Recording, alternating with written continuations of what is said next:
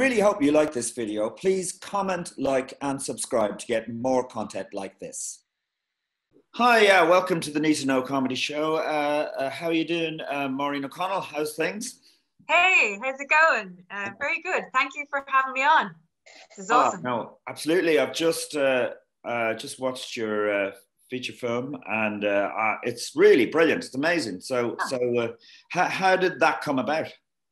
Oh, thanks a million. Um, well, so I was I was in England at, at the time, and I rang up a friend of mine, Carl Argue. He's the co-writer on it, and I just said, "Oh, just I kind of fed up. I just want to make a feature. We should because I made shorts and stuff already. So I said we should we should do it. We should write something. So Hmm. I came up with the general idea of it, and then he started writing away. Then I came home. I literally wrote the other half. It's almost exactly half and half between the pair of us. Mm. and uh, I was always going to direct it anyway. And then it was meant to be both of us acting in it, but then Carl wasn't able to because it was like a no budget feature film. So Mm. he he needed money at the time. So I was like, oh, grand, no worries. And he didn't mind that we went ahead and um, we cast Steven Neeson then um, in uh, the, the role of Stony, which is the other lead. Yeah. Um, so yeah. Uh, and then, I, then I just started. We shot over a whole year kind of Oh, thing. really? So you, you, yeah, yeah, you just did it bit by bit when you could. Yeah, yeah, exactly. So just kind of not to annoy everyone because no one was getting paid, like we know money or anything. I had like three DOPs. So I'd uh it was just when they were able to. So if one wasn't free, then I get another guy to shoot it kind of thing. And it, it just made it easy because it was kind of bite sized then. People enjoyed themselves. We'd shoot a scene, we'd have three or four hours to shoot it. Yeah. And then um everyone would go home in a good mood, feed them well, that type of thing and they enjoyed themselves. And then they, they wouldn't mind coming back maybe in two weeks' time to shoot more. Right. Yeah. Wow. It really works. Uh, uh, so you basically no budget at all. You you didn't get funding from anybody. No, no, no, I didn't even apply because I'm so used to getting no's. So I just, I just did it myself. Um, play. yeah. And do you have uh, input into the technical side of it, uh, cameras, that kind of thing? Is that something that you have knowledge of as well? Like what camera to use, you know, that kind of what lenses, that kind of thing. Yeah, Uh, I mean, I'd have a basic knowledge. I went to Ballyfermot Film at film School. Um, so, uh, yeah, like, I mean, I've, I've DOP'd some things, but um, I mean, I'd have only a basic knowledge. I'd be more a director, but I just kind of say to them, like, we shoot on, we shot on Blackmagic, and two of them had Blackmagics, and then for the third one, Mm. I needed to find a camera that kind of matched the Blackmagic, you know, uh, Mm. color wise. So we got a, a GH4, got a DOP with a GH4. So that type of thing, I kind of know, like, you know, and then um lenses i kind of know i'd suggest lenses and stuff or if i wasn't sure i kind of go i know that this is a different shot from what we're doing nor i know that we're going to need a, a certain type of lens Mm. uh, what lens would you recommend and they'd be able to translate my ideas into Right. Okay. yeah Um, so let's talk about you. You grew up in uh, Wicklow. Um, I Yeah. saw that you uh, would make little films when you were like a kid, like we're using VHS camera. Yeah.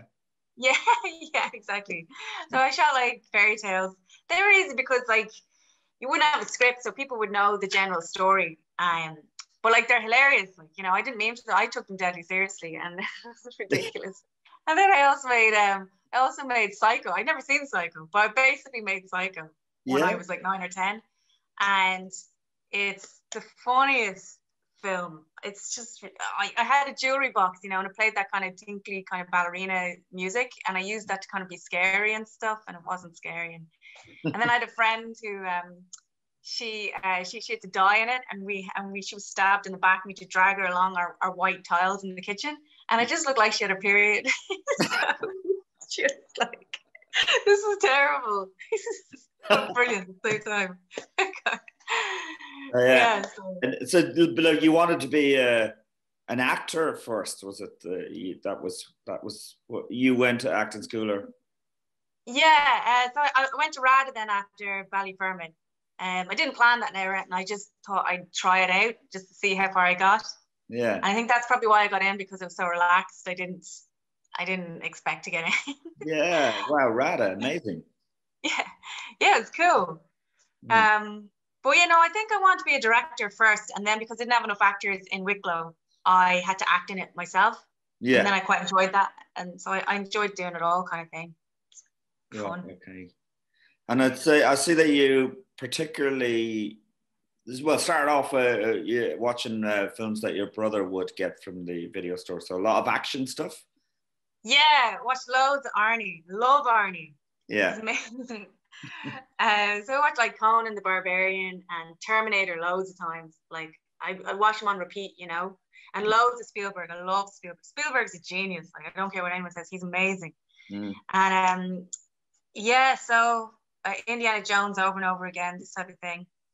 Mm. Brilliant though, like you know, really good to watch those films over and over again as well. Like proper kind of entertainment. Like it's not, it's not self indulgent anyway. You know, Yeah. it'll keep you hooked. Yeah. Right. always- yeah, like it's always aware of the audience. So Yeah. Yeah. Yeah. Yeah. Yeah. Great. Yeah. Great movies. Entertainment. Yeah. Great. yeah, definitely. Yeah. Not trying to be arty in any way. Yeah, I mean, I love arty films as well. I do, but I think it's a it's it's a good start, isn't it, to start with stuff that's just about kind of structure and kind of reaching out to the audience, making sure you have them hooked and stuff. Then after you know, once you learn all that stuff, then you can go towards the arty stuff.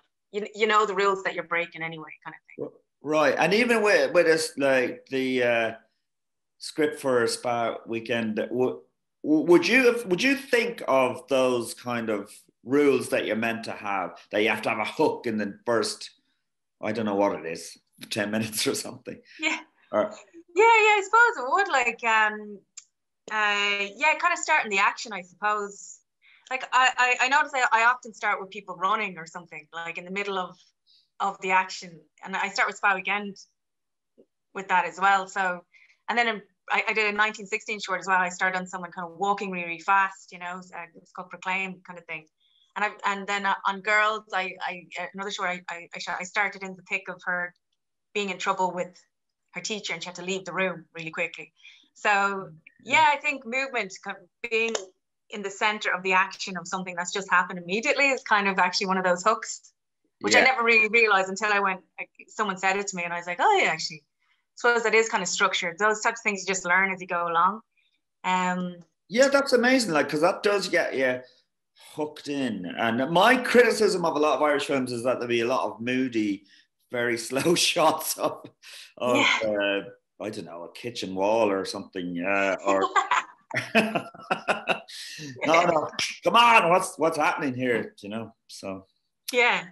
I I love all the uh, references to Fair City. It's amazing. So- All right. I thought I was going to get into loads of trouble about that, but it's actually just fine. So I was like, worried I was going to get sued or something. yeah, yeah, that's funny. You probably won't get a part in Fair. Not not not you. No, and I'd love a part. Jesus. Get paid every week. It'd be brilliant, you know.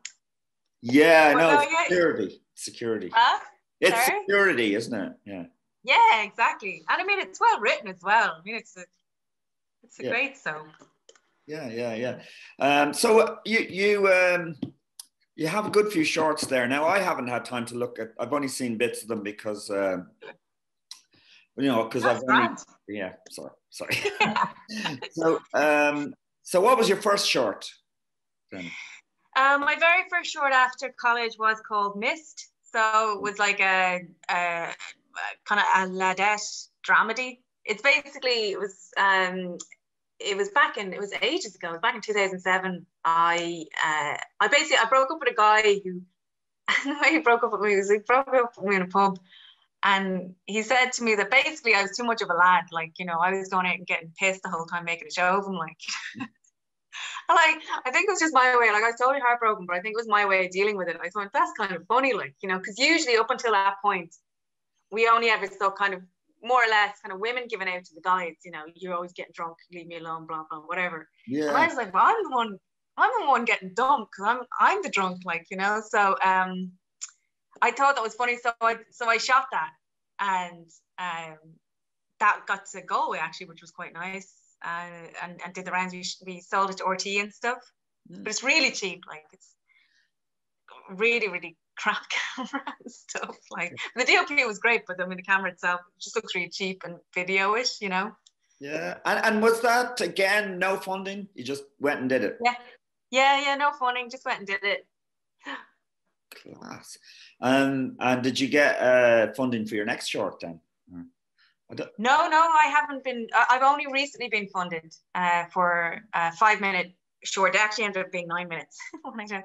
but uh, no, I, so I but after that I did um, a kind of social realist drama called Girls, and it was based on a thing I'd seen when I was a teenager.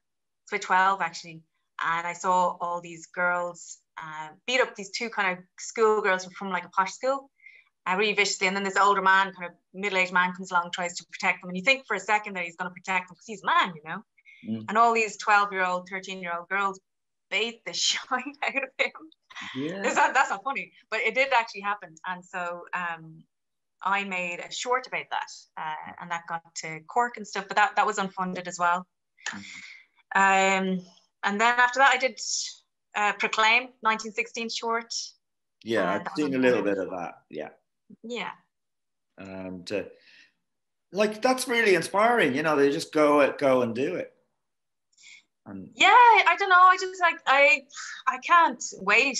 I find funding stuff. I find even filling in application forms like gives me nausea. Like you know, I just feel you just feel ill doing. It. I hate it. I hate that paperwork. Yeah. Explaining all your ideas. Because an awful lot of your ideas, like you'll be real prepped going to a shoot, but often as well, like when you go to shoot it, you'll get different ideas, and you're like, oh, this is great. Or some actor you know does something and you and you have to change stuff up. And you don't want to be saying that on an application form to a county council because that's just going to give them the heebie-jeebies you know? So yeah. Yeah it's also uh, i'd say particularly with a comedy very hard to get what your vision of what you know it's going to be funny because you're but it's very hard to get that across sometimes do you not think? Or yeah it can be like because it's a uh, tone and stuff you know so um yeah yeah, it's it's uh, and it's hard to get them to trust you when they don't really know you and stuff. So, uh, yeah, it's a, it's a tricky thing. Comedy. Yeah, and but but this is your first. This the other films weren't comedies. This is the first time you've done a comedy. Yeah. Well, Mist Mist was funny. It was about this girl getting you know, so so that that that was kind of funny. It was sad as well. She's getting broken up with, but it was kind of funny. because Oh yeah. Okay. yeah, yeah. Um, Girls was serious. Proclaim has little bits of funniness in it. Um, and then I did a, a short I didn't write. I just directed it called Thespish, and it's comedy uh, set in an audition room, and it's all these actors just talking nonsense to each other. Uh, it's written by Shane Connellan, and he acts in it as well. He's brilliant. And then I, I, I directed another comedy called Motherhood, um, well, I've only seen the trailer for that, but I see the uh, Chris. Um, Christiana Mahoney. Christiana Mahoney, yeah, she's brilliant. When she used to do stand up for a while, uh, I haven't seen. That's right, yeah. yeah. she did actually. Yeah. Um, yeah, she's brilliant in it, and uh, so it's her script, and so I, I directed that. Um, so that's that's another comedy about a woman who's 35 and she's being put under pressure by her friends to have kids she's at her birthday party and she doesn't want to talk about that type of stuff and she goes bananas basically. So yeah, yeah, yeah. yeah. that's it. Uh, and had you uh, acted in comedies uh, on stage? Or i mean you seem to have done a lot very serious acting actually stage acting then. Yeah yeah i have actually. I've done uh, i suppose yeah i don't know like I, I i love comedy. I started off with comedy i suppose i did uh, a profit share show called The Truth Game um, in Andrews Lane Theatre mm. years back when, when that was open. And I did that a good few times there. And I played this character that just wouldn't stop talking. And she was the funny character in the play, you know? Mm. uh, so there was no pressure or anything. But uh, no, I really enjoyed it. And then, uh, yeah, so I suppose I, I went to RADA, but before that, I did like Wuthering Heights and I played Cathy but I would try to find the funniness in it. Like I would try to play Cathy. She's kind of funny. Cathy's ridiculous, kind of. She's emotionally honest kind of character, you know. Like I know she's in love with Heathcliff, but she's really, really selfish as well, which is really it's quite funny, you know. Yeah. yeah. Um, the way she's quite demanding and stuff. So I, I would look for comedy in these really, really serious parts as well. Yeah. And there's loads of comedy in Juno and the Paycock. I played Mary as well. There's loads of loads oh. of comedy in there. Right, right. Yeah. Yeah, actually, I reread uh, Wuthering Heights because I did Wuthering Heights for my leaving next year, and then I read it a few years ago, and I went, I was like, come on, like just get it together, will you? What's wrong with you people? yeah, I know. It, it was really weird. Emotionally incontinent, you know. What's that? You're just like emotionally incontinent. Yeah, but like when I was a teenager uh, doing it for the living, I was so into it. You know, I, I loved that drama. As an Yeah. adult, I reading it, I was like, oh come on. You know, I had a totally Yeah. different attitude. Totally different attitude to the whole thing. Uh, but yeah, but so I was just because you're like you are a serious a- actor. That that I was wondering, is it difficult? How do you pitch a comedy acting? Uh, yeah, how do you know when you're?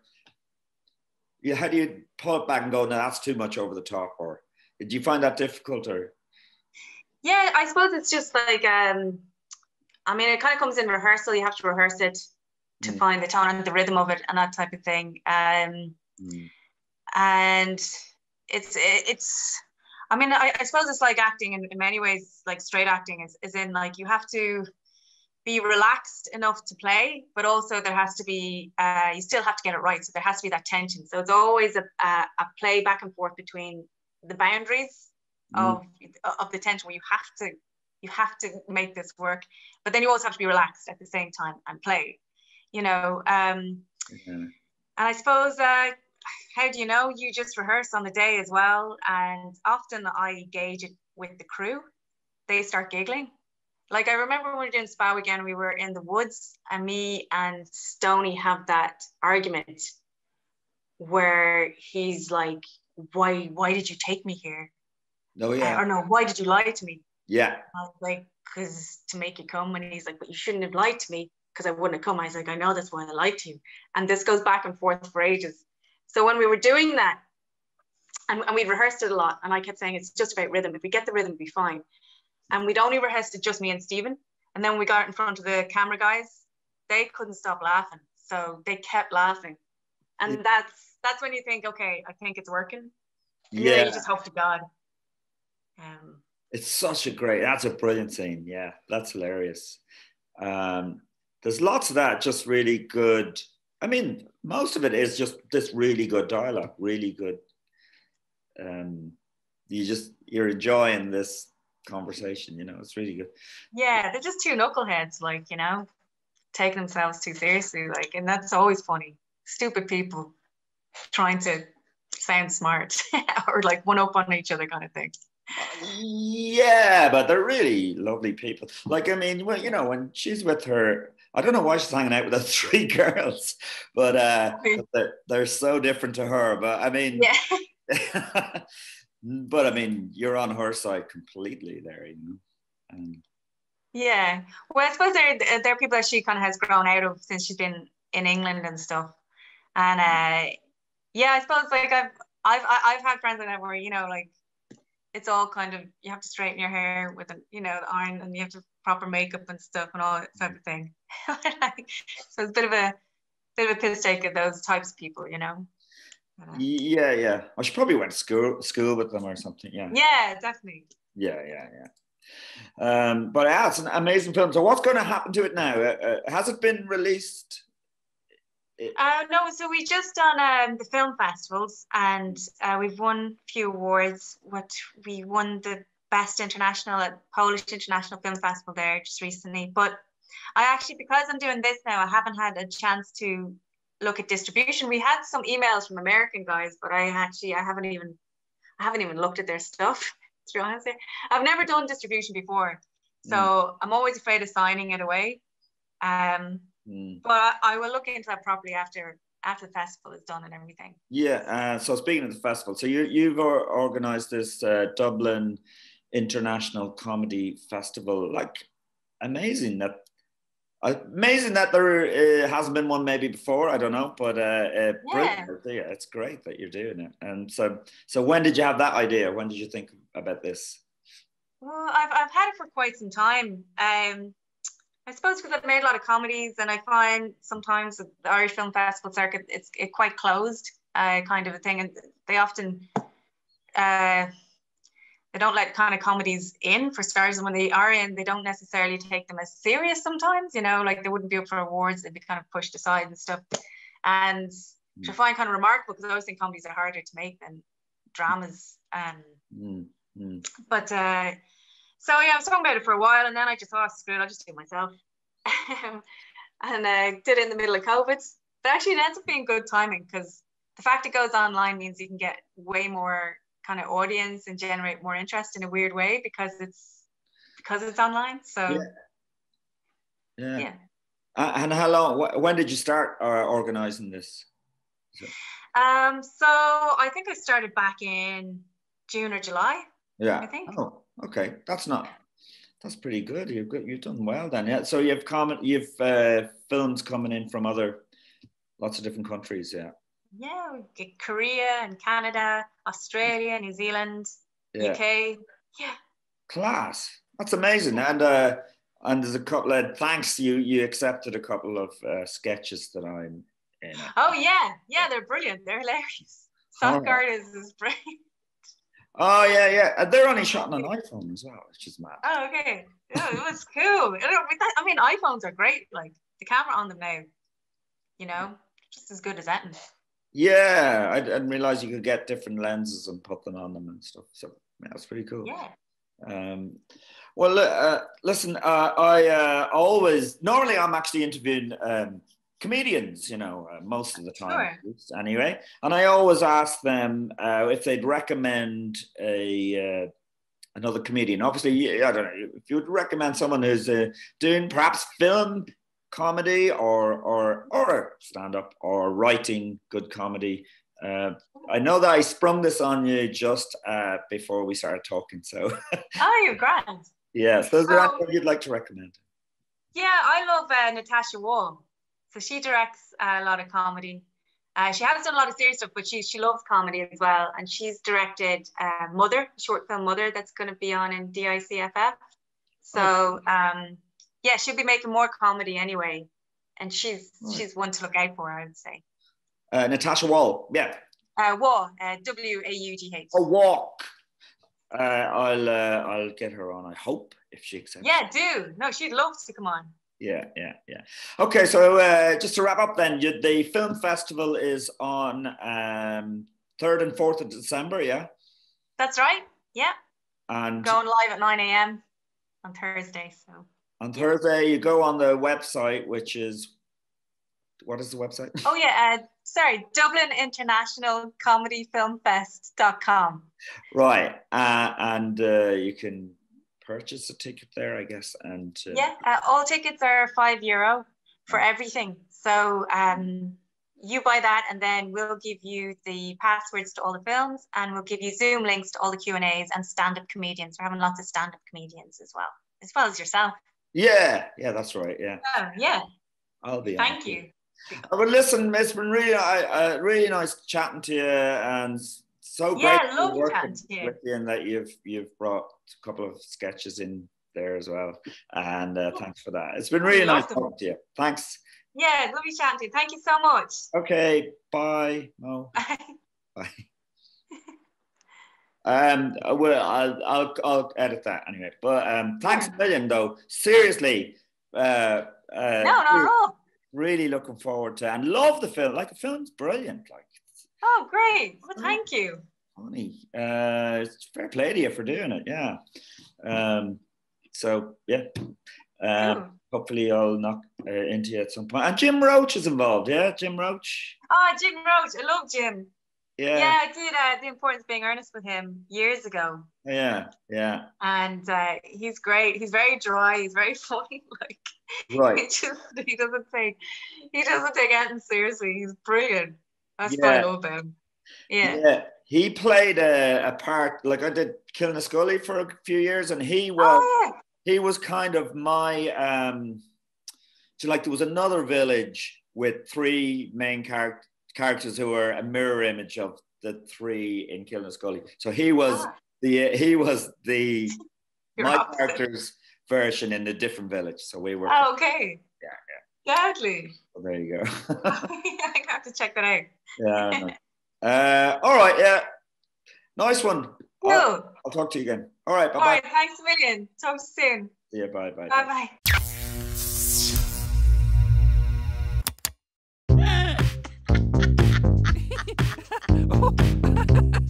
oh.